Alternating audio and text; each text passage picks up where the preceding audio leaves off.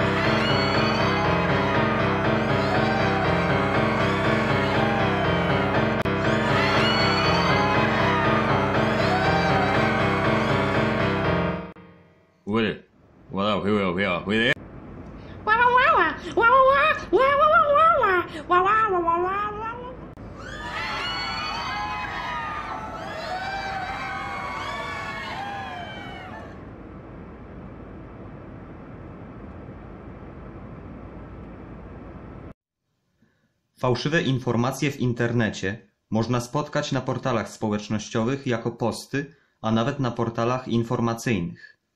Są to zazwyczaj krótkie, kontrowersyjne teksty, które mają na celu wywołanie jak największego wpływu emocjonalnego na odbiorcy i są kłamliwe. Często do tekstu dodawane są zdjęcia, aby utwierdzić odbiorcę w przekonaniu, że informacje są rzetelne. Uważaj na emocjonalny język i manipulacje.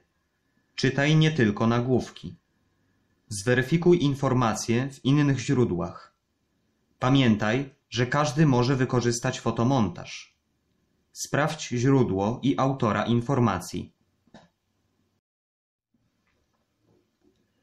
Zwracaj uwagę na nietypowe formaty stron internetowych. Sprawdzaj źródła informacji. Uważnie przyglądaj się publikowanym zdjęciom. Konfrontuj czytane artykuły z innymi informacjami. Analizuj dowody użyte na poparcie tez zawartych w publikacji. Upewnij się, czy dany artykuł nie ma charakteru satyrycznego. Nie udostępniaj informacji bez zastanowienia.